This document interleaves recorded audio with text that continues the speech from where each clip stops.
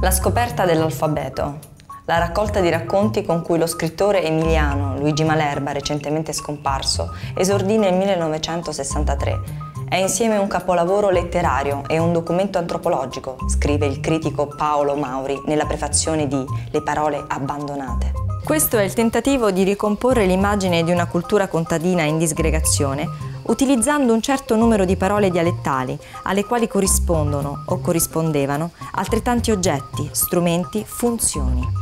Malerba narra le storie dei contadini che ha conosciuto da ragazzo, aggiunge Mauri, negli anni a ridosso della seconda guerra mondiale, nelle campagne intorno a Berceto, Parma, dove la sua famiglia aveva terre e case. Questo repertorio di parole sopravvissute è soltanto un testo di esperienza, con tutti i limiti e le parzialità della testimonianza diretta, intorno a una cultura che non ha più memoria di se stessa e tantomeno è in grado di produrre immagini del proprio futuro. Luigi Malerba, scrittore, sceneggiatore, direttore di riviste, è considerato uno dei maggiori scrittori italiani del dopoguerra.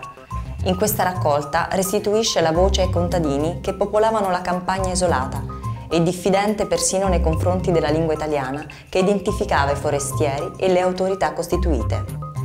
Sapienza popolare, fatica e gioia si alternano e danno spessore a voci, che sono spesso dei veri e propri micro-racconti. Gli uomini passano, ma la terra rimane immobile, come la terra.